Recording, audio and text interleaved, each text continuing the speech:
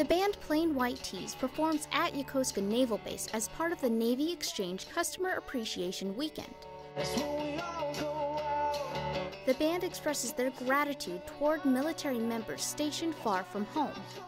I mean, what can we say besides just thank you, you know?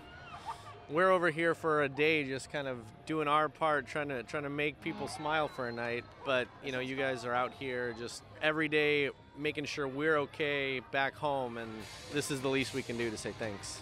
Serving overseas can be stressful, but events like this give service members a break from their usual daily grind.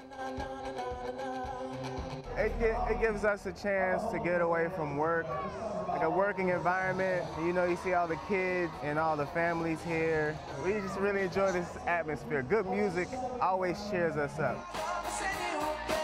Yokosuka's MWR and Navy Entertainment continue to bring big acts as the summer season draws near. Petty Officer Sonja Wickard, Yokosuka Naval Base, Japan.